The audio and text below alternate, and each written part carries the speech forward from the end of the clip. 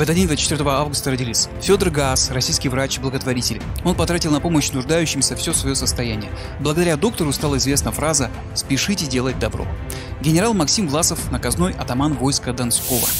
Власов был сыном простого донского казака, дослужившегося до офицера. Когда мальчик рос, отец служил в Польше, поэтому оставил мальчика на попечение монахов Киево-Печерской лавры. Там Максим научился читать и писать. Григорий Власов хотел, чтобы сын пошел по гражданской линии, но казачья кровь возобладала. Юноша ушел в армию.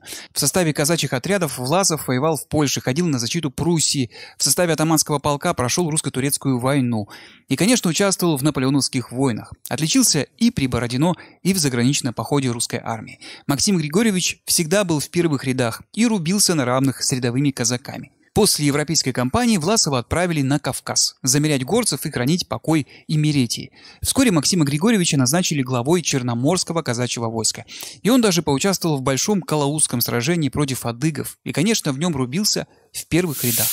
Лучшей наградой для Власова осталась вековечная память о нем в Черноморье, внешним выражением которой служила поднесенная ему от черноморцев оправленная в золото сабля, на клинке которой изображено было Калаузское сражение, писал современник.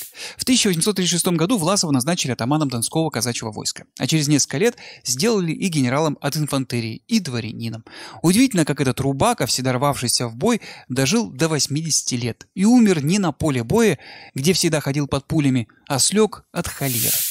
Также 24 августа родились граф Лев Голицын, основатель виноделия в России, создатель российского шампанского и виноделин в Массандре и Абрау-Дюрсо. Владимир Пуришкевич, один из самых знаменитых дореволюционных политиков. Виктор Глушков, советский ученый, под его руководством в СССР была разработана первая персональная ЭВ. В этот день, 24 августа 1789 года, произошло Рачинсалинское морское сражение, решительная победа русского флота над шведским. 24 августа 1823 года император Александр I посетил церковь святых Петра и Павла в селе Поречье Рыбное, уникальный архитектурный комплекс для глубокой провинции. В последние годы земной жизни император Александр много размышлял о вечном, истово молился и во время путешествий по России посещал множество церквей. В 1823 году государь доехал до церкви Петра и Павла в селе Поречье Рыбное, которое в Ярославской области. В с виду обычном селе находился внушительный храмовый комплекс, летняя церковь святых Петра и Павла и церковь святого Никиты Мученика. Вместе получается две церкви и изящная пятиярусная колокольня. Оба храма построены во второй половине XVIII века. Ходила даже легенда, что колокольню одной из церквей построил простой крестьянин Алексей Козлов, это преувеличение. Козловы не были простыми крестьянами, у них был солотопный и свечной заводы. Однако Алексея Козлова выбрали церковным старостой, а сам промышленник на момент завершения строительства был бурмистром села Поречье Рыбное. После революции этот великолепный храмовый комплекс ждала непростая судьба, как и многие другие религиозные сооружения по всей стране. Повезло, что церковь не разрушили, правда отдали под склады и клуб. Только в 2007 году архитектурный ансамбль вернули верующим. Сейчас идет его реконструкция. 24 августа 1904 года в России были отменены телесные наказания для крестьян, малолетних ремесленников и морских служащих.